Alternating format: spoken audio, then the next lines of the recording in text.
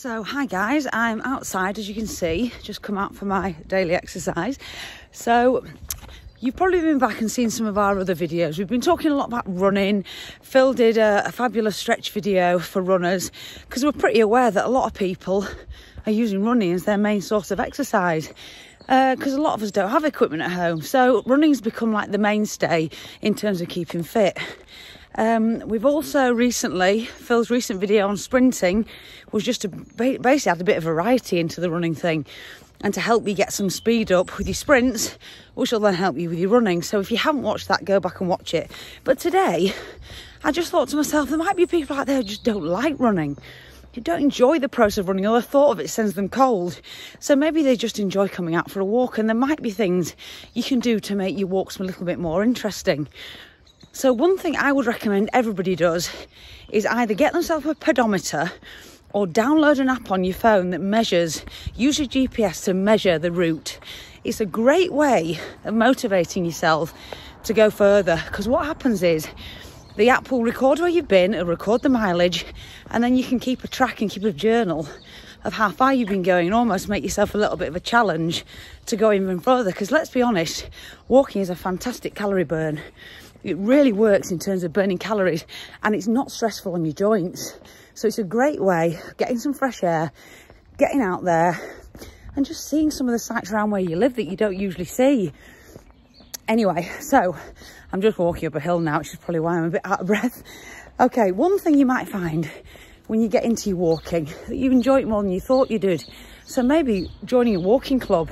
There's plenty of local walking clubs around you could join and it might be something you could add in to your daily routine just to have a bit of a change in your exercise rather than just go to the gym or walk on a treadmill. Get yourself out in the countryside and have a walk. Also joining a walking club will open up a load of walks that you didn't even know existed. So definitely recommend that. Also one thing i would recommend if you're going to get into walking is to download some podcasts. It's a great time when you're out walking to educate yourself or even just listen to some podcasts for fun. There's loads of comedy ones out there, short stories. But for me, I use the time to learn. So I'm not good at laying in bed reading a book. What will happen is I'll get into bed, get the book out, fall asleep. I think you all understand that. So what I'll tend to do is use my journeys, whether it be walking or in the car, to learn. So I'll download podcasts, audiobooks, and that's the time when I'll learn. So really recommend downloading some podcasts onto your phone and using them when you're walking. Also, it's a great time to rehearse things that you wanted to do. Like that sounds silly, but what a great time to rehearse a speech. Or if you've got something coming up, like an awkward conversation with an employee or someone at work, get out for a walk, clear your head and rehearse it. Take a bit of paper, even have a pen in your pocket and make notes. Or if you've got your phone, put some memos on your phone, things you need to remember when you get back.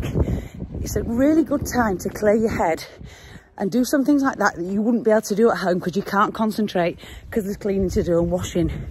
So it's a brilliant time to add those sort of things in when you haven't got anything else to distract you. So yeah, rehearsing a speech, rehearsing an awkward conversation, anything like that that you can't do at home, you can't focus on, is a great thing to do out on a walk. Okay, so there's a few things you can do to make your walk a bit more interesting. How about making the walk a bit more challenging? So next is the thing I do to make my walks a bit more challenging. Okay, so some of you guys might know, you might not know that I used to do um, boxing competitively. So when I was training at the sort of peak of my training, every single boxing session started with running. We went outside and we ran. To be fair, it's probably put me off running for life because it was really hard. But what we used to do, used to go out in a group and what the instructor, the coach would do is make us run to a lamppost and then back to him and then we'd walk. Then we get to the next lamppost, we'd run to the following one, back to him, and it'd be like a sprint. And then we'd come back to him and then we'd walk for a bit. So why not maybe adopt that principle if you're not a fantastic runner or if you just don't enjoy running? Because most streets you go down will probably have lampposts at regular intervals. So this is my idea for you. Say, for example, let's have a look at this street here ahead of me here, you can see there's lampposts. So if you're a complete beginner, what I'd say is walk between a lamppost and then the next lamppost, jog to the next lamppost, then walk to the next one and just start like that. Then next time you come out, try this interval. Walk a lamppost, jog to the next one and sprint to the next one and go in little threes like that. So you get the gist, you get the gist. Once you get used to the, the roads around where you live, you'll start to learn how the the roads you generally run from home, how the lampposts are set out. So if you've been walking to one, jogging to the next, next time you go out, try the walk, jog, sprint. Maybe next time you go out, try walk to one, jog for two, and then walk. So just keep varying it up. Um, and you'll just find every time you go out it improves. It's a good way of maybe transitioning from just going out for a walk to adding just that little bit of higher impact stuff in if you want to. Okay, another thing I sometimes do to make the walks a bit more interesting is adding exercises. So what I do is make myself a list. So today I've got a list. We've got press ups off a tree or bench. We've got dips off a tree or bench. We've got star jumps. We've got step ups onto tree or bench. And then we've got a split squat of some kind. Okay, so I've got the list. I'm going to do 10 of each. And then on my walk somewhere, I'm going to stop and find a spot and tick off those exercises. And then once you've ticked your exercise off, walk home. And that's just made you walk a little bit more interesting. And every time you go out, maybe improve upon it. Add another exercise or add some reps.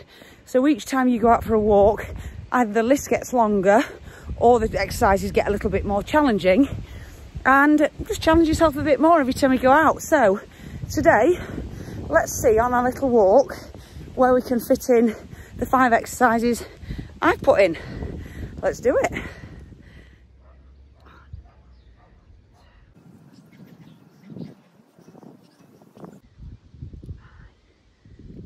Found somewhere to do step up, so I'm going to make sure I do 10 each leg.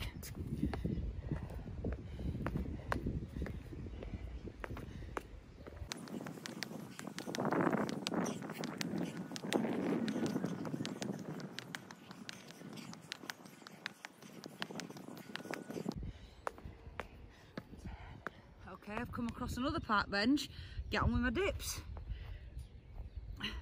So remember, bent legs is easier, straight legs is harder.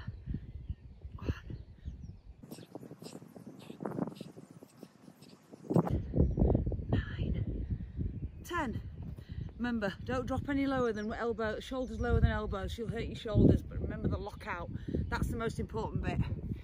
Okay, I'm to do Bulgarian split squats with a little low fence that I found to put the back toe on. If you can't do those, remember you can put your front foot up onto a curb or just do flat ones. So literally toe up, take a stride, and then you've got 10 each leg.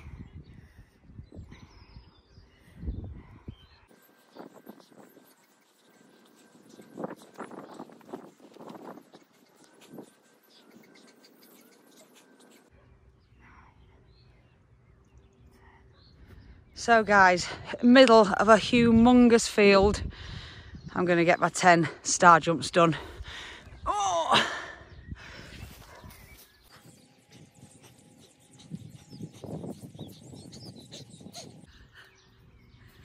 So that's my all my uh, my five exercises completed. Um, got a few funny looks from people walking the dogs and it's really cold and windy today. You can see the clouds above me there. It's not like we've had previous. It's definitely a lot cooler and i think it's going to rain so i'm glad i got out and did this now. So there's other ways you can do things. If you don't want to use the lamppost idea or this you can download some tunes onto your phone and every time the chorus comes on you can run. You can you can do timers set yourself 30 seconds run 30 second walk like a normal interval. So there's loads of ways you can do it. Um, so that's how to make your walks a bit more interesting. Next, I want to talk a little bit about walking posture and walking technique. Okay, you wouldn't imagine you would have to think about how to walk and how important it was to get the right posture, but it is. Um, first point is feet. Now, feet, toes should be pointing forward, but you are, you can have a little bit of a turn out on the toes, so don't worry if you do, but obviously they want to be generally pointing forward. Now, Imagine you've got a string attached to the top of your head and someone's pulling you up. I want you to lift out from the hips as well. So you're not arching the back. Now to stop the back arching, you want to tuck the tailbone in a little bit, almost clenching your glutes a little bit. So it might feel a little bit forced, but you've just got to imagine you're really standing tall. The problem is when people go out for a walk, they're on the mobile phones and that posture where your shoulders are over. So stringing your skull and imagine you're stretching up. Okay, so keeping that very tall posture. Try and keep the chin level by trying to look always about 20 feet ahead. That will keep the chin level and stop that slump posture. Okay, people don't realise how important the arms are when you're walking. You want to try and keep the arms at 90 degrees. So you're trying to keep, don't clench the fist, but keep them in like a half fist. So they're not clenched, but they're not like this. So they're just a half clench. Elbow at 90 degrees. And when you're striding, try not to bring the hand across the centre line. And also, don't let the hand come any higher than the sternum. I know it seems like there's a lot to think about, but it's just trying to keep relaxed. A lot of times people's shoulders tend to be very shrugged and up. So give them a big squeeze up and then shrug them down. Help them relax. So the arm posture is really important because that's where a lot of your speed and power comes from your arms. You'll remember in Phil's video when he talked about sprinting, how important the arms are in getting speed into your sprints. It's the same with walking, the arms are important. So as you're walking, the arms at a right angle is moving forward. It's not moving up, they're moving forward. Okay? Not clenching the fists, relax the shoulders and keep that chin level and looking forward. I've tried to move my camera a bit out of the wind because I can hear it's so windy today. So we, have got the posture, okay? We've got the arm movement. We've worked out how to do the arms and, and where to keep the chin. The next important thing is the feet. So with the feet, you want to use a rolling action with the feet. So it's heel, roll to toe. Now, that's why it's important that you wear flexible shoes because if you're wearing really stiff shoes, you won't be able to roll the feet like that. So you strike with the heel, roll through the toe as you take the other leg through. Now, Phil also mentioned this in his sprint video, that people try and overreach with the front foot and that's so true, true for walking. When you walk, the speed comes from the back foot. So as you want to make sure that you leave it as long as possible before the back foot pushes off. That's where your length of stride and your speed will come from. So heel, roll to toe, stride through and then leave it so as long as you can before you push off the back foot. That's the important bit. Don't overreach with the front foot. That's the key to walking. So you've got the posture, you've got the arm position and the feet. Now at first you might find because of that heel to toe action, your shins hurt a little bit, because you're not used to using that muscle in the front of your shin. You'll get used to it. Try walking with these new postural uh, cues maybe for five minutes and then go back to your normal style of walking, then practice again for five minutes. You'll soon get used to it. And you'll find that walking with good posture, thinking about what you're doing with your shoulders, your chin, your arms, your feet, that you won't end up with so many hip and back injuries or niggles from walking so much. It can really help. So it's just worth listening to a note noting a few things down. Next time you go for a walk and just have a think about it when you're walking. Okay let's move on. Wow it is cold today guys. So last little bit from me on the on the walking thing. As you're getting close to home maybe a minute or so from home have a look around for a decent sized curb at the side of the road. It's a good opportunity before you get home to stop near a curb and give your calves a good stretch. So find a curb and I'll show you how to stretch off those calves because it's true that when you're walking calves take a serious pounding. So let's do that next before we get home. Okay so i'm nearly home. I found a decent curb so what you want to do is literally put your toe on the curb and just let that heel drop off. It's a nice big curb because i've got big feet so it needs to be a big curb. Hold it down there release and go again. And really push that heel to the floor. I will do at least five decent holds at that position, release and go again, and then change over. Hold, release, hold again. And I can tell mine stretch off because already I'm touching the floor with the heel, so that's great. Because they do, your calves do get tight when you're walking. Okay, so that's the heels. You can also use the curb to stretch off the hamstrings. Place the heel on the curb, obviously be careful of the road. This is a quiet side road. Toe up, back nice and flat and lean in.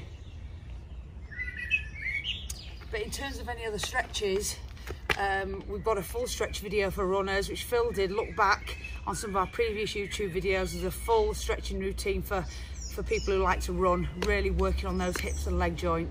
So have a look at that and uh, have a go. And let me know what you think about this one with the, the walking and let me know if you've tried any of the things I've suggested in this video. And I'll, I'll see you in the next one. Right, uh, that's Mel's latest video where she gives you uh, a few different ways of brightening up those walks.